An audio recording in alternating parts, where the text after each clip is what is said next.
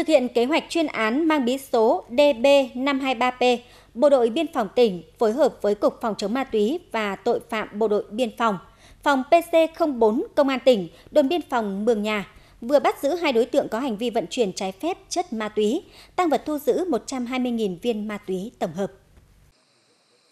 Vào hồi 19 giờ 15 phút ngày 12 tháng 6, tổ công tác của Phòng phòng chống ma túy và tội phạm Bộ đội biên phòng tỉnh và các đơn vị phối hợp làm nhiệm vụ tại bản Pô Lau, xã Mường Nhà, huyện Điện Biên, phát hiện hai đối tượng nam giới đứng cạnh xe máy cùng một bao tải sắc rắn màu đỏ có biểu hiện nghi vấn.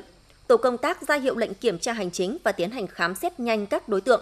Phát hiện trong bao tải để sau xe máy có 20 gói lớn được bọc băng keo màu vàng, bên trong là ma túy tổng hợp, số lượng 120.000 viên và hai điện thoại di động. Tại cơ quan điều tra, hai đối tượng khai nhận là Vàng A Nính sinh năm 1990 và Vàng A Anh sinh năm 1994. Cả hai đều trú tại bản Pu Lau, xã Mường Nhà, huyện Điện Biên. Trước đó, Vàng A Nính có quen một đối tượng nam giới ở tỉnh U Đông Say, Lào từ năm 2018 và thường xuyên liên hệ trên Facebook. Chiều ngày 11 tháng 6, đối tượng ở tỉnh U Đông Say, Lào nhắn tin thuê Nính nhận ma túy ở khu vực cột mốc 131 tuyến biên giới Việt Nam, Lào, rồi vận chuyển đến huyện Mường Trà, tỉnh Điện Biên để tiêu thụ. Nính rủ Vàng A Anh đi cùng để làm hoa tiêu và thỏa thuận với đối tượng ở tỉnh Udom Say. Sau khi giao nhận ma túy xong, mỗi người sẽ được nhận tiền công là 10 triệu đồng. Trên đường vận chuyển ma túy thì bị biên phòng phát hiện bắt giữ.